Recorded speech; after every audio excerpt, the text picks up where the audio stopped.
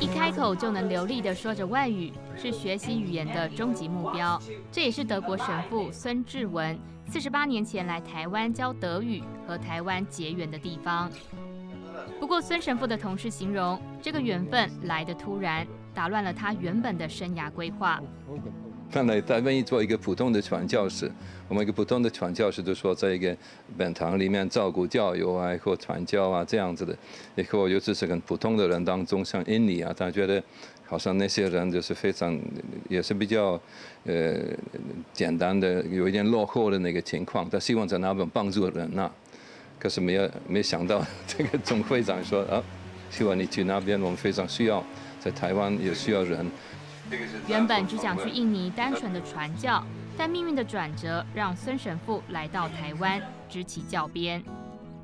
孙神父从1965年起在辅仁大学德语系任教，教书的同时，他观察到台湾的外语教育出了问题。课堂上大多是老师讲，学生听，不注重口语表达，于是让学生开口说话成了最大挑战。现任辅大德语系副教授扎代山，就是孙神父早期实验的学生。神父在他大一时，要他暑假天天跟学长用德语聊天，结果开学验收，口语能力明显有进步。就是一个一个一个高地的学生教他呢，在放假的时候，他们有时间就在一块儿，呃，啪啪啪啪啪啪，嗯，然后新年开始之后，我可以跟他这样这样半半个小时、一个小时讲德文的，所以我我想的，就我现在如果他是他不是一个 super student，如果他会做的话，我想还有别的学生应该也是这样的，所以我是决定上上有这些小小老师制度的这样的。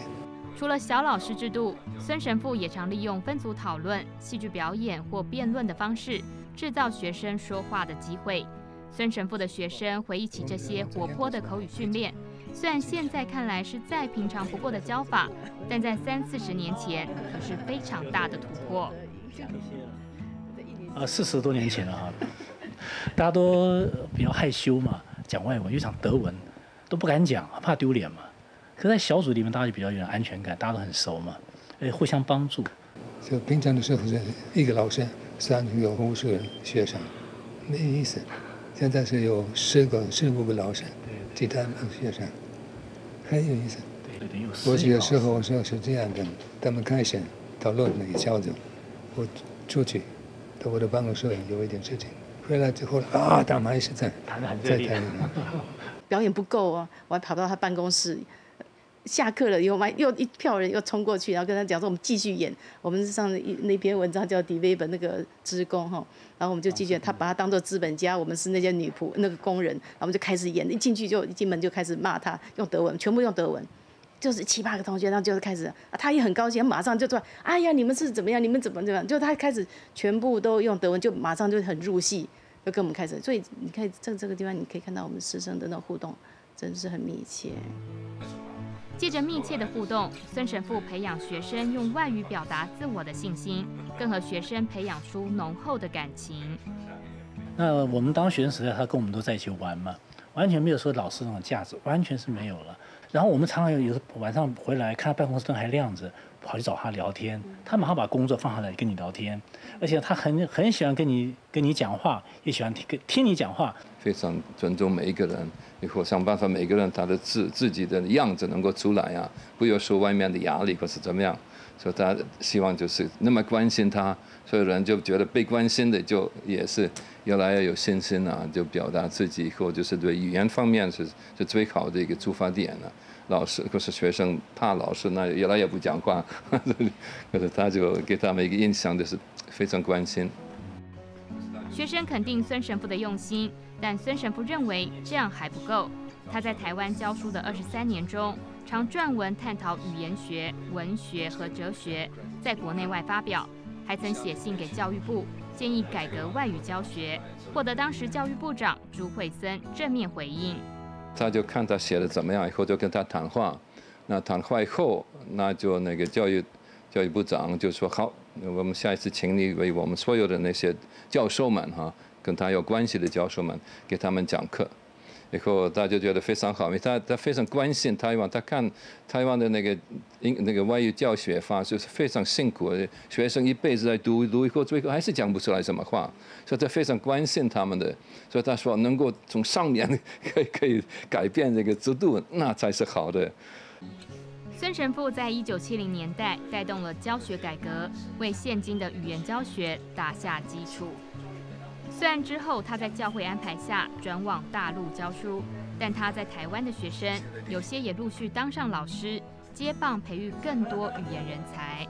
他说，教学方法不是看说有一套方法就可以是可以在什么地方都可以用，不是的。你要了解你的学生的背景，啊，他的需要，他有什么困难。比方有有南部来的同学，他发音方面有些比较有些问题，对不对？这你都要考虑到，所以不是有一套方法可以放诸四海而皆准，不可能的。他说你要因人因因人施教，因材施教。我现在想，偶尔跟孔子的那种因材施教蛮像的。很很多人讲说，呃，小孩子是在父母亲看着父母亲的那个背影那个长大的。我觉得像我们，我就觉得我们是看着他的背影，然后我们在成长。我们是跟着他的背影在成长的。孙神父的学生表示，教学环境和学生会随着时代转变，但从神父身上看到对学生的关心、爱心和恒心是不变的教学精神。八十三岁的孙神父两年前回到台湾退休，平日固定祷告，偶尔翻译文件。虽然大部分时间都在休养，但仍念念不忘着学生。孙神父常到校园走动，和教授讨论教法之余，其实他更想听到学生开口说外语。只要有越多学生灵活运用所学到的语言，就是对他最好的回报。而他在台湾和大陆两个异乡教书近半个世纪，活用语言的教法也会持续在两岸开枝散叶。中央社记者张志燕、王怡文，新北市报道。